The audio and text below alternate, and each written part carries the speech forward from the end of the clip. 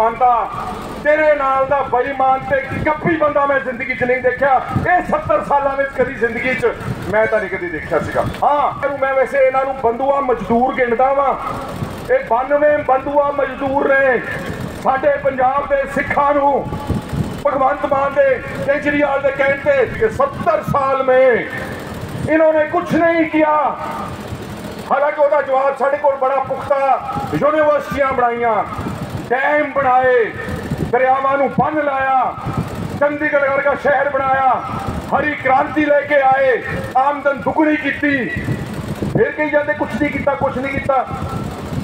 ਇੱਕ ਗੱਲ ਮੈਂ ਮੰਨਦਾ, ਕੇਜਰੀਵਾਲ, ਕਿ ਤੇਰੇ ਨਾਲ ਦਾ ਝੂਠਾ, ਓਏ ਭਗਵੰਤਾ, ਤੇਰੇ ਨਾਲ ਦਾ ਬੇਈਮਾਨ ਤੇ ਕੱਪੀ ਬੰਦਾ ਮੈਂ ਜ਼ਿੰਦਗੀ 'ਚ ਨਹੀਂ ਦੇਖਿਆ। ਇਹ 70 ਸਾਲਾਂ ਵਿੱਚ ਕਦੀ ਜ਼ਿੰਦਗੀ 'ਚ ਮੈਂ ਤਾਂ ਨਹੀਂ ਕਦੀ ਦੇਖਿਆ ਸੀਗਾ। ਹਾਂ, ਝੂਠ ਬੋਲਦੇ ਸੀਗੇ। ਝੂਠ ਬੋਲਦੇ ਸੀ ਲੋਕੀ। ਝੂਠੇ ਲਾਰੇ ਵੀ ਲਾਉਂਦੇ ਨੇ ਸਿਆਸੀ। ਕਰਪਟ ਵੀ ਨੇ? ਪਰ ਤੁਹਾਡੇ ਵਰਗੇ ਦਿਨ ਦਿਹਾੜੇ ਲੋਕਾਂ ਦੀ ਹਾਜ਼ਰੀ ਵਿੱਚ ਝੂਠ ਬੋਲਣ ਵਾਲੇ ਪਹਿਲੀ ਵਾਰ ਦੇਖੇ।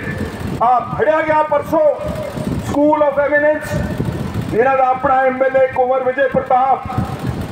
ਉਹਨੇ ਇੱਕ ਕਮੈਂਟ ਲਿਖਿਆ, ਨਿੱਜਰ ਦੇ ਜਿਹੜਾ ਨਿੱਜਰ, ਬਹੁਤਿਆਂ ਨੂੰ ਮੈਂ ਵੈਸੇ ਇਹਨਾਂ ਨੂੰ ਬੰਦੂਆ ਮਜ਼ਦੂਰ ਗਿਣਦਾ ਵਾਂ। ਇਹ 92 ਬੰਦੂਆ ਮਜ਼ਦੂਰ ਨੇ।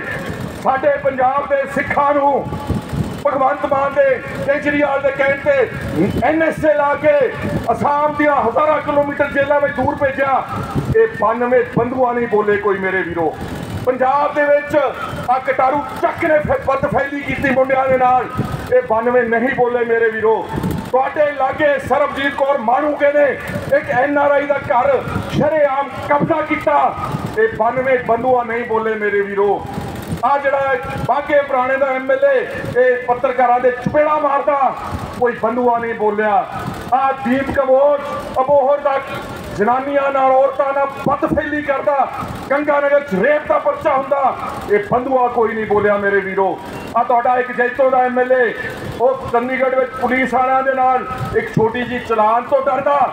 ਉਹਨਾਂ ਨੂੰ ਧੀ ਦੀਆਂ ਉਹਨਾਂ ਨੂੰ ਭੈਣ ਦੀਆਂ ਗਾਲਾਂ ਕੱਢਾ ਕੱਢਦਾ ਇਹ 92 ਬੰਦੂਆ ਕੋਈ ਨਹੀਂ ਬੋਲਿਆ ਹਾਂ ਇੱਕ ਕੁਮਰ ਵਿਜੇ ਪ੍ਰਤਾਪ ਕੱਲ ਬੋਲਿਆ ਜਦੋਂ ਉਹਨੇ ਕਿਹਾ कि हमने तो ऐसा स्कूल बना दिया जो सत्तर साल में कहीं नहीं था ਉਹ ਕੁਮਰ ਵਿਜੇ ਪ੍ਰਤਾਪ ਨੇ ਲਿਖਿਆ ਉਹ ਨਿੱਜਰ, ਉਹ ਵੀ ਬੰਦੂਆ ਮਜ਼ਦੂਰ ਮੇਰਾ ਰਿਸ਼ਤੇਦਾਰ ਹੈ ਚੰਗਾ ਭਲਾ ਗੁਰਸਿੱਖ ਉਹਨੂੰ ਮੰਤਰੀ ਮੰਡਲ ਚੋਂ ਲਾਇਆ।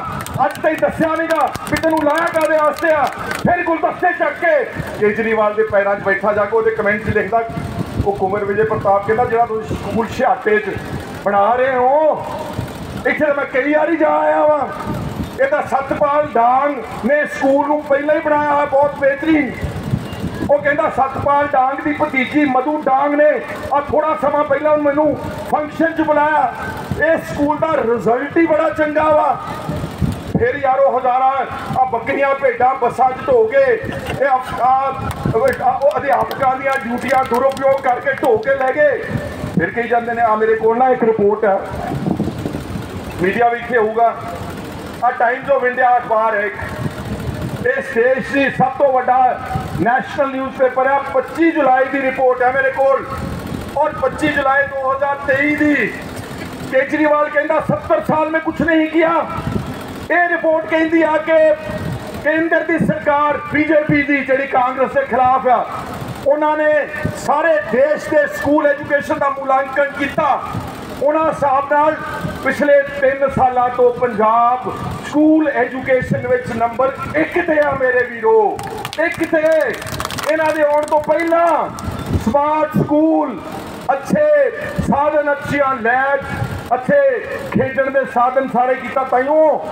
ਦੇਸ਼ ਦੀ ਰਿਪੋਰਟ ਜਿਹੜੇ ਬਹੁਤ ਵੱਡੇ ਉਹਨਾਂ ਨੇ ਪੈਰਾਮੀਟਰ ਰੱਖੇ ਔਰ ਦਿੱਲੀ ਇਸੇ ਰਿਪੋਰਟ ਆ ਮੈਂ ਸਾਰਾ ਹਾਈਲਾਈਟ ਕੀਤਾ, ਤੁਹਾਨੂੰ ਪੜ੍ਹ ਕੇ ਨਹੀਂ ਸੁਣਾ ਸਕਦਾ। ਦਿੱਲੀ ਦੀ ਐਜੂਕੇਸ਼ਨ ਪੰਜਾਬ ਦੇ ਮੁਕਾਬਲੇ ਤੇ ਅੱਧੇ ਨੰਬਰ ਨੇ ਮੇਰੇ ਵੀਰੋ। ਸਾਡੇ 123 ਪੁਆਇੰਟ 113 ਪੁਆਇੰਟ ਦਿੱਲੀ ਦੇ ਮਹਿਜ਼ 63 ਪੁਆਇੰਟ ਯਾਰ ਉਹ ਫਿਰ ਵੀ ਕਹੀ ਜਾਂਦੇ ਨੇ, ਜੇ ਦਿੱਲੀ ਦਾ ਐਜੂਕੇਸ਼ਨ ਮਾਡਲ ਜੇ ਪੰਜਾਬ ਦਾ ਐਜੂਕੇਸ਼ਨ ਮਾਡਲ ਹਮ ਬਣਾਏਗੇ, ਉਹ ਤੁਸੀਂ ਸਾਨੂੰ ਦੱਸੋਗੇ ਆਣ ਕੇ ਕਿ ਪੰਜਾਬ, ਜਿਹੜੇ ਗੁਰੂਆਂ, ਪੀਰਾਂ, ਪੈਗੰਬਰਾਂ ਦੀ ਧਰਤੀ ਛੋਟੇ ਛੋਟੇ ਸਹਿਬਜ਼ਾਦਿਆਂ ਦੀ ਧਰਤੀ